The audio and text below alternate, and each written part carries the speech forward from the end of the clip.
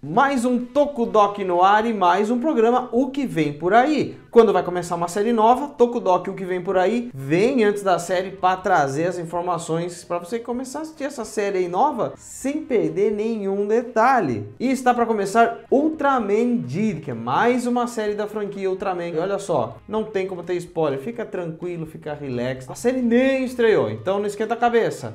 Tudo que eu vou falar aqui são sinopses, são informações oficiais da própria Tsuburaya, contido em trailer, site oficial, scan, enfim, nada que vai estragar nada. Não tem como estragar um negócio que não começou, né?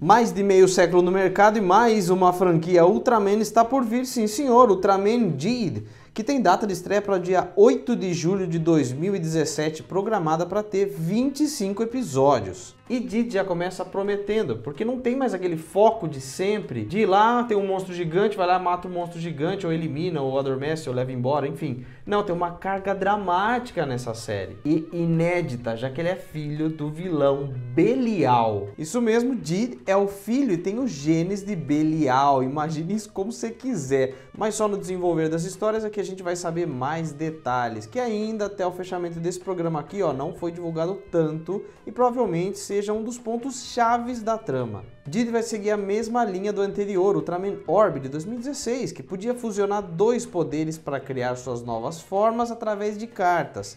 Mas os itens da vez serão as Ultra Cápsulas, como essas aí. Essas cápsulas contêm poderes de antigos heróis Ultraman que ele vai poder usar para aumentar o seu poder e alterar sua forma, força, velocidade, enfim.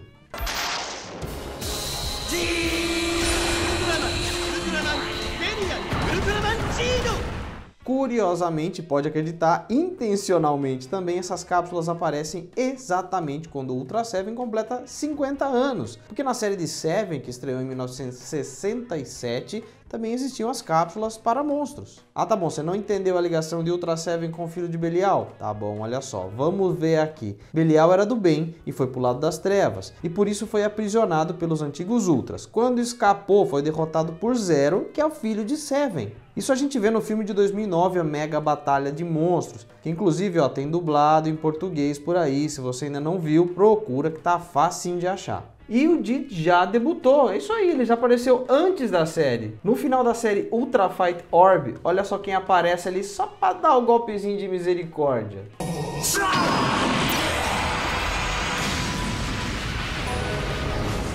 Inclusive, quando o Did surgiu, esse vilão achou que ele era o Belial. Olha o tamanho da responsa desse herói.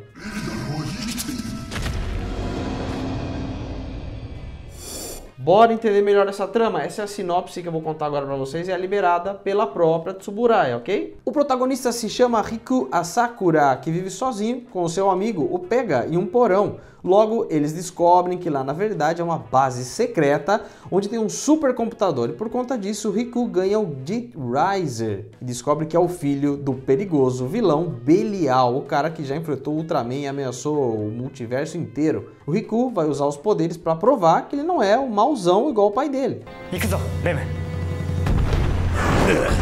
Usando o Did Riser e as cápsulas que eu já comentei, o Did vai se apresentar com a sua primeira forma e a princípio também outras duas. A primeira se chama Primitive, que vai juntar a cápsula do seu pai, o Belial, com a do primeiro Ultraman. E as outras duas são a Solid Burning, que fusiona o Seven com o Léo, deixando a sua força em outro nível, e a Acro Smasher, que junta Cosmos com Hikari, deixando ele mais rápido e totalmente azul.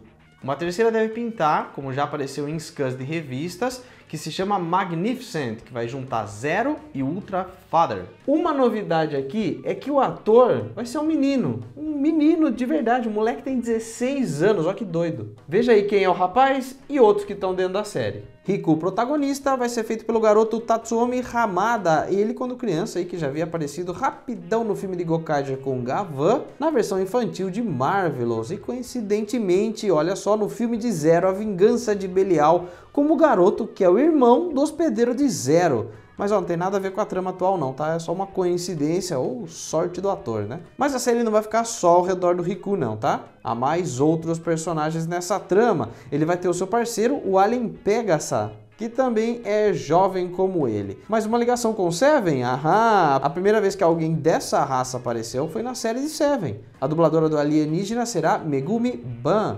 Eles dois ficam na base chamada Observatory, onde está o supercomputador RAN. Também tem Moa Asaki, amiga de infância de Riku, que trabalha como agente da organização secreta AIB que investiga alienígenas, interpretada por Makoto Yu Hasekawa. E a menina espadachim Toba Haiha, que já esteve envolvida em um acidente com monstros antes, e agora quando acontece um novo, se encontra com Riku ao tentar salvar uma pessoa. Sua intérprete será Shihiro Yamamoto. Zero que já comentei será fixo na série, vai ser o mentor de Jid, terá um hospedeiro humano, outro, diferente dos anteriores, tá? Dessa vez chamado Reito Igaguri, que aparentemente é um cara normal, que trabalha no escritório, tem sua família e vai ser interpretado por Yuta Osawa. Já a voz de Zero será feita pelo mesmo dublador de antes, Mamoru Miyano. Riku vai ter como rival um cara chamado Kei Fukuide, que assim como o herói vai poder combinar cápsulas também, mas de monstros e combinar os gigantes destruidores. O cara é bom de luta, mas a gente não sabe quais são os seus objetivos ainda. Ele vai ser feito por Kunito Watanabe.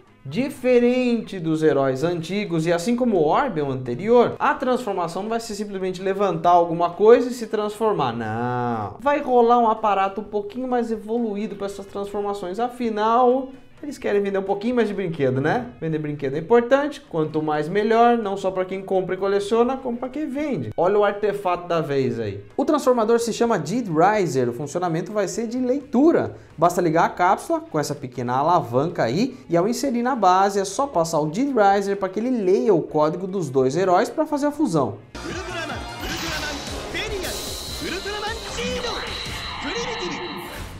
Temas de abertura e encerramento estão a cargo da banda Voyager, com Jid no Akashi para abertura, com o próprio ator principal cantando, e Kibo no Kakera para o encerramento. Mas não dá para pôr a música aqui, até porque o YouTube me puxa a orelha. E a direção, cara, Koichi Sakamoto. Como não pensar que isso vai ser bom, né? Koichi Sakamoto que está envolvido com Power Rangers, Super Sentai, Ultraman já fez tanta coisa, inclusive o Space Squad, que é um filme que está sendo bem visto e aclamado. E essas são as informações então que a gente tem de Ultraman Did antes da série começar. Tem muito lugar que a gente vê Dido, mas isso aí é como a gente ouve o japonês falando. O japonês não vai falar Did, ele sempre vai pôr um Dido, vai pôr o O no fim. Então o nome da série é Did, G-E-E-D. O Dido é porque é a maneira que o japonês faz. O japonês não manja inglês, galera. Então é Did mesmo, viu?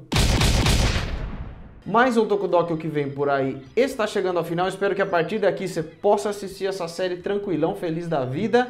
Não se esquece de deixar o seu like aí para valorizar esse trabalho, porque sempre dá bastante trabalho. Aqui do lado mais dois vídeos e se inscreve no canal. Chama os amiguinhos que gostam de Ultraman, aqueles caras das antigas, os caras que começaram a ver a partir do X, do Mebius, enfim. Chama a galera que gosta de Ultraman para conhecer mais do Tokudok. Falou? A gente se fala no próximo vídeo. Abraço, valeu!